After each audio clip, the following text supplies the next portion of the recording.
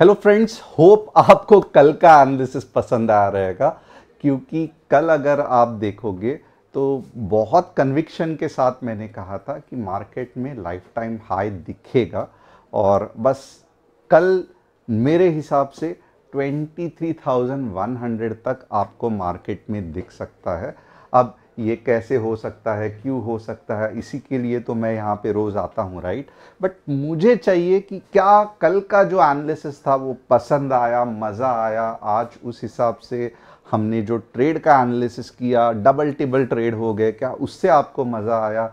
जो भी आप कमेंट करना चाहते हो, मुझे लगता है कि कल के एनालिसिस के लिए एक दिल खोल के आपका कमेंट होना चाहिए। अब सबसे इंपॉर्टेंट अगर आप चैनल को सब्सक्राइब नहीं करोगे बेल बटन को हिट नहीं करोगे तो कैसे आपको हर दिन ये एनालिसिस मिलेगा? तो ये भी कर लेना। आज सभी कम्युनिटीज़ का जो डेमो ट्रेड्स थे फंटास्टिक गए तो आपको अगर डेमो ट्रेड्स चाहिए तो डिस्क्रिप्शन में जो व्हाट्सअप कम्युनिटी की लिंक है, उसे क्लिक करके आप हमारे साथ जुड़ सकते हो। कल फ्राइडे है और नॉर्मली क्या होता है मार्केट ऊपर आता है, बाद में नीचे चला जाता है बट कल के दिन आपको और मज़ा आने वाला है। आज जस्ट ट्रेलर था कल धमाका होने वाला है तो बहुत ध्यान से सुनना जो भी मैं बात कर रहा हूँ। उससे पहले हम देखेंगे कि कुछ स्पेशल चीज़ क्या है। Gujarat state fertilizer and chemical share sinks 9 percent as Q four profit tanks over 90 percent तो जीएसएफसी की तो हालत ख़राब हो गई तो इसके लिए ये हो रहा है। Ramco cement shows muted on weak cement prices brokerage sees downside of up to 11 percent तो यस रामको सीमेंट में थोड़ा सा आपको ध्यान देना पड़ेगा। Adani enterprises set to replace Wipro in Sensex first Adani group stock to enter benchmark बहुत ज़्यादा एक्साइटमेंट है और ये एक्साइटमेंट कल भी चलने वाली है। तो मैं कहूँगा कि ये स्टॉक पे भी ध्यान देना। अब कस्टमर सपोर्ट नंबर हमारा एक ही है nine one five two six one five one two one तो बहुत इंपॉर्टेंट है कि आप यहीं पे हमें अगर संपर्क करना है व्हाट्सएप पे तो भी किए, कीजिए। हमारा कोई भी टेलीग्राम चैनल नहीं है तो फ्रॉड से बचिए। अब, आज मैं क्या करने वाला हूँ? कल का निफ्टी बैंक निफ्टी का एनालिसिस करने वाला हूँ। नाइका एनएचपीसी और इरकॉन, ये तीन स्टॉक्स का टेक्निकल व्यू या टेक्निकल एनालिसिस दिखाने वाला हूँ। आप चाहते हैं कि अगर मेरा कोई भी आपका स्टॉक मैं एनालिसिस करूँ तो कमेंट में डालना, मैं डेफिनेटली करूँगा। अब वन बाय वन चलते हैं यहाँ पे कि ट्रेडिंग व्यू में निफ्टी का व्यू क्या दिख रहा है। तो सबसे पहले अगर आप देखोगे ना, ये निफ्टी का चार्ट है और एक बड़ी बड़ी सी कैंडल आपको दिख रही है और ये कैंडल इधर ही रुकने वाली नहीं है, क्योंकि ये तो ब्रेकआउट है। और ब्रेकआउट का मतलब ही होता है कि ये बहुत ऊपर जाता है, ये एक या मीन्स एक घंटे का या दो घंटे का ब्रेकआउट नहीं होता है। कभी कभी ये ब्रेकआउट दो या तीन दिन चलता है। तो इसका मतलब क्या है कि आने वाले दिन बहुत ज़्यादा एक्साइटिंग होने वाले हैं। इसके लिए कल डेफिनेटली अलर्ट रहना। अब सिर्फ़ ब्रेकआउट होने से क्या हमारा प्रॉब्लम सॉल्व होता है? ऐसे नहीं है। हमें क्या करना पड़ता है कि मार्केट में correct entry target stop loss देखने पड़ते हैं। तो मेरा ये मानना है कि मार्केट 22,800 के नीचे नहीं जाएगा। ये मेरा मानना है। अब मार्केट 23,100 तक गैप अप हो सकता है। हो सकता है। चांसेस बहुत बढ़िया है। अब उसके बाद क्या होगा कि मे भी नीचे आएगा। लोएस्ट जो है वो 22,800 तक जाएगा और यहाँ से वापस जैसे जैसे इलेक्शन के रिजल्ट्स नज़दीक आएँगे वैसे वैसे ऊपर जाएगा।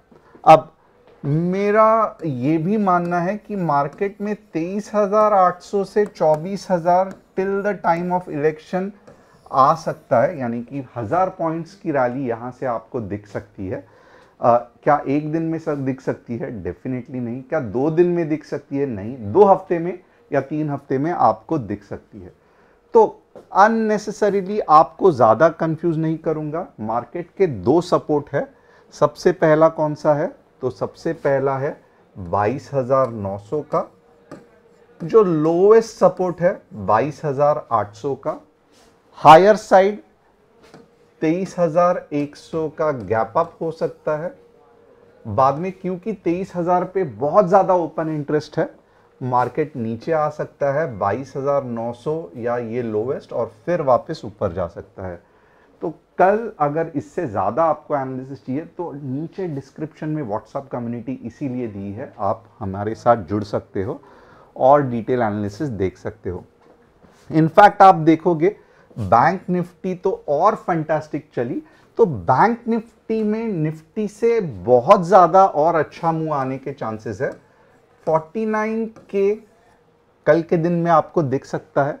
मीन्स आग बंद करके मैं कह रहा हूँ कि 49 के कल के दिन तक दिख सकता है। अब थोड़ा सा इसका डिटेल में एनालिसिस करेंगे। 48,400 48,400 will be the lowest part of bank Nifty चलो ये भी हो गया। ओके। okay. और गैप अप कहाँ तक हो सकता है? 49 के और मोस्टली ये मॉर्निंग को ही होने के चांसेस है। इसके बाद में सपोर्ट्स कौन से है? तो दो सपोर्ट है। 48,600 का पहला सपोर्ट 48,400 का दूसरा सपोर्ट और फिर ये पकड़ के वापस जो जाएगा बैंक निफ्टी में भी आपको 50 के दिखने के बहुत अच्छे चांसेस है। तो ये शॉर्ट एंड स्वीट हुआ। इसका ज़्यादा मैं कितना भी एनालिसिस कर लूँ बट जो इंट्राडे में होगा, वो कल के लिए सही एनालिसिस होगा। नाइका देखेंगे। नाइका इनफैक्ट इतने अच्छे मार्केट में परफॉर्म नहीं कर रहा है, क्योंकि रिजल्ट्स नाइका के सही नहीं है। N H P C N H P C फिर भी अच्छा है, यानी कि जो निफ्टी के साथ हो सकता है, वो एन एच पी सी के साथ भी हो सकता है।